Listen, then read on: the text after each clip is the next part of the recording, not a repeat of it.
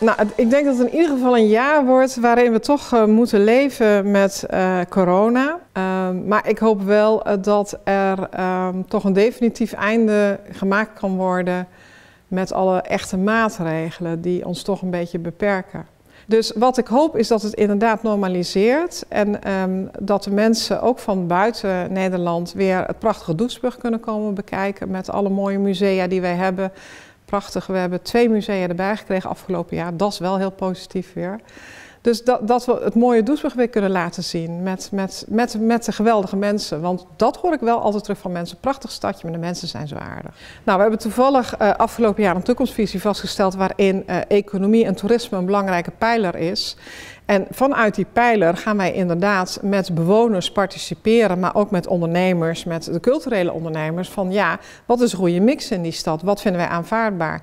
Waar ik bijvoorbeeld wel weet, is waar de inwoners heel erg over klagen, wat ook met toerisme te maken heeft, is bijvoorbeeld parkeerbeleid. Nou, daar hebben we nu gezegd, daar gaan we mee beginnen om uh, in die binnenstad te kijken hoe we dat met vergunninghouders en betaald parkeren beter kunnen reguleren. Nou, dat zijn telkens uit, uh, uitwerkingen van zo'n pijler. En dat moet ja, in, uh, in participatie gaan gebeuren, zeg ik dan maar. Lieve mensen van Doesburg, ik hoop eigenlijk dat 2022 een wat gemakkelijker jaar voor ons wordt. Dat we wat meer onze stad kunnen laten bruisen.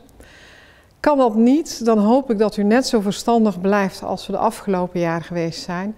Namelijk, we vinden het vervelend, we zijn het niet allemaal met elkaar eens, maar we doen het samen en we maken er samen het beste van.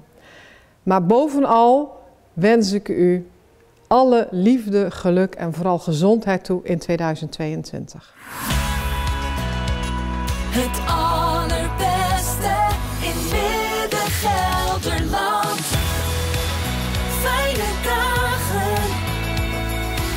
Dit is Connect.